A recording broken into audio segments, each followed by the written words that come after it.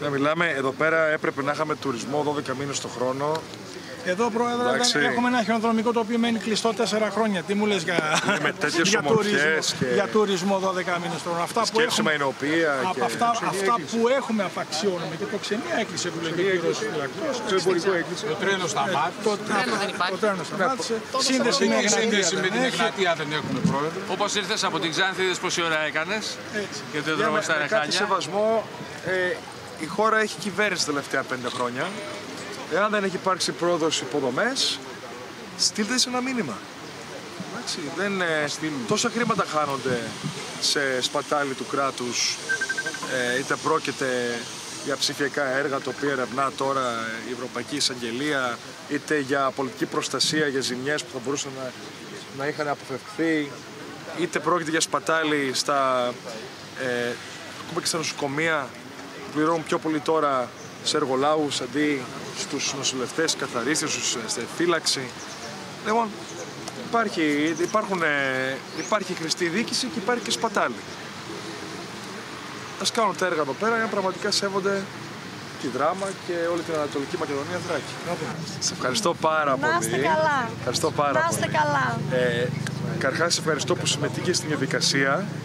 Σου άρεσε, ήταν εντάξει; Μου άρεσε, πήγα καλά. Μπράβο. Πήγα καλά. Έβαλα τα δυνατά μου, πήγα καλά. Ήταν η πρώτη φορά και ευελπιστώ ότι θα, θα πάω ακόμα καλύτερα στη συνέχεια. Καταγωγή από εδώ έχουμε.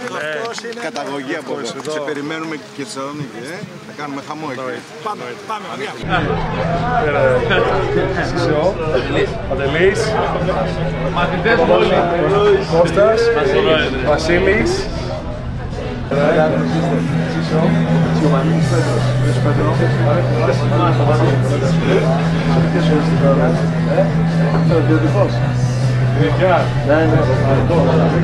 του Αρχαιολογικού Μουσείου και της Σκέπασης. Το πελατσάω σα Τσάω αφιερωμένο, έτσι.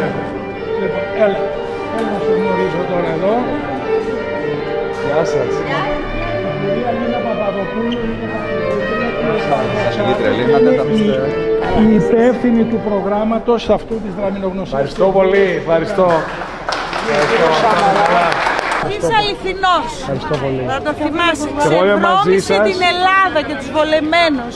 Γιατί Θα το κάνουμε. Θα γίνει, θα γίνει κοινωνικό. πολιτικό. καλή επιτυχία. Ευχαριστώ πολύ. Τέλεια. Όλοι Όλοι μαζί. μαζί. εντάξει. Τάραξε του νομιμότητα να πληρώσουν αυτά που χρωστάνε. Ο γίνουμε- ελληνικό λαός θα γίνουμε πλήρωσε προ- πανωτόκια, θα χάσει σπίτια. Έλεγχος στους πολιτικούς πλέον.